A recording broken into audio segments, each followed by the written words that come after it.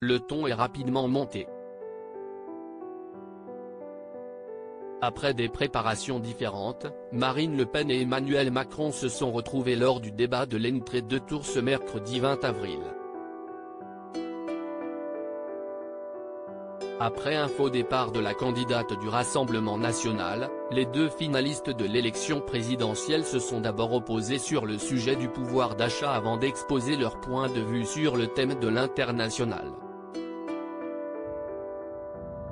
Comme elle pouvait s'y attendre, Marine Le Pen a été attaquée par Emmanuel Macron sur le prêt qu'elle a contracté auprès d'une banque, pour financer la campagne des régionales et des départementales en 2014.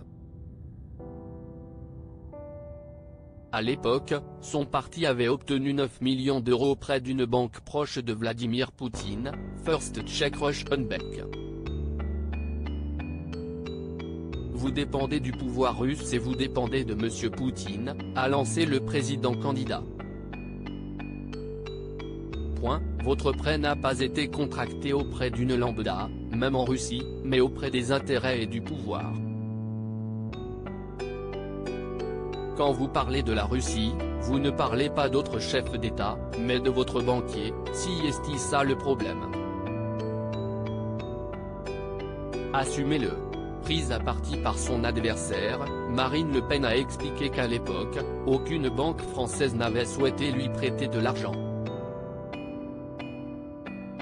Ce que vous dites est faux, a-t-elle répondu, affirmant être une femme absolument et totalement libre.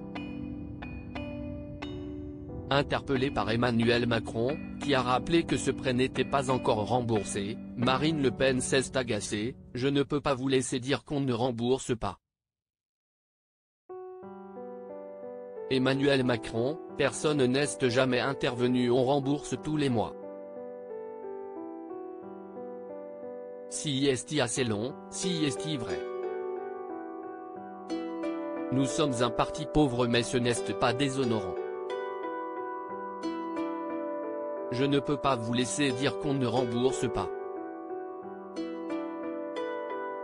Nous remboursons rubis sur ongle, tous les mois, a-t-elle poursuivi avant d'accuser son adversaire, à l'époque ministre de l'économie, d'avoir empêché les banques françaises de lui accorder un crédit.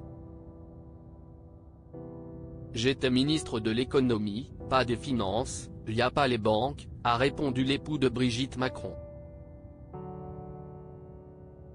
Personne n'est jamais intervenu, vous le savez très bien. Pour la campagne présidentielle 2022, Marine Le Pen a recontracté un prêt, de 10,6 millions d'euros sur 16 mois, auprès d'une banque hongroise, la MKB